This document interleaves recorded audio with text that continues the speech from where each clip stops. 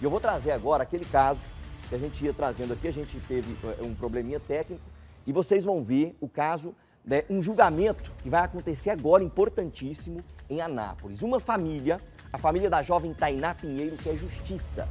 Um ano após o crime, onde ela foi brutalmente assassinada a golpes de faca. Essa jovem aqui que só tinha 26 anos, o Leonardo Gonçalves foi lá e a gente vai entender qual é a expectativa da família para esse julgamento tão importante. História na tela do Cidade Alerta.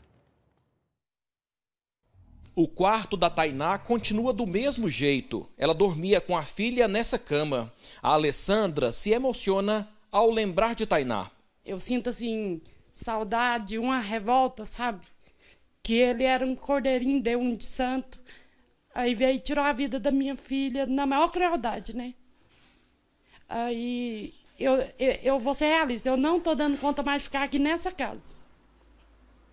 Porque tudo lembra ela, tudo.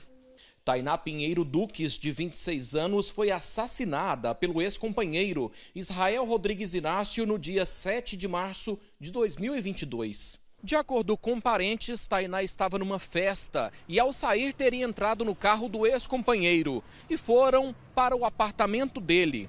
Na noite do crime, os dois discutiram por causa de uma mensagem que teria chegado no celular de Tainá. Israel queria ver o conteúdo da mensagem, mas a jovem não deixou.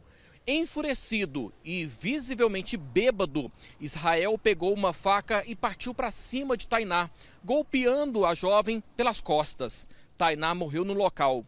Em seguida, o suspeito fugiu. Ele foi preso uma semana depois do feminicídio. O julgamento de Israel Rodrigues está marcado para o dia 7 de março deste ano.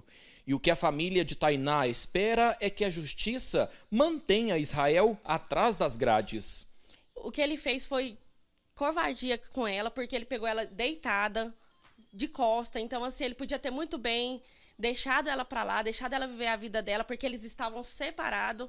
Não é como ele fala que ele estava junto, eles estavam separados. E ele veio e fez isso com ela por maldade. E não sei se foi ciúme ou alguma coisa, porque a gente não sabe, a gente tem assim, conhecimento do que foi falado. Então, assim, a gente espera que a justiça dele seja feita e que ele venha pagar tudo, tudo, tudo, tudo que ele fez com a Tainá fique na cadeia uns 30 anos e pague pelo que ele fez, pelo sofrimento que ele trouxe para minha família. Tainá deixou uma filha, que hoje tem um ano e oito meses. Ela ainda não consegue entender que o pai matou a mãe. A avó e tia não sabem como será o futuro quando ela descobrir isso.